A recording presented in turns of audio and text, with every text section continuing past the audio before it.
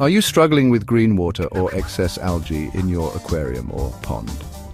There's a natural solution, Daphnia moina, tiny freshwater zooplankton, also known as water fleas. Algae blooms are common in tanks with too much light or excess nutrients. They cloud the water and can disrupt your aquatic ecosystem.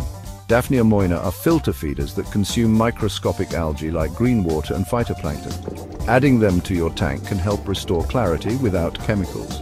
Start by ensuring your tank is free of pesticides or copper-based treatments, as these can harm the Daphnia. Just like fish, Daphnia need to be acclimated to your tank's conditions. This prevents shock and increases survival. Once acclimated, release the Daphnia into the tank. They'll immediately begin filtering out algae and suspended particles. Over the next few days, you'll notice the water becoming clearer. Daphnia can reproduce quickly under the right conditions, helping keep algae under control naturally. Tip, to maintain balance, reduce lighting and nutrient input to prevent future algae blooms. Caution, in tanks with fish. Daphnia may be eaten before they can be effective, so consider adding them in large quantities or during the night.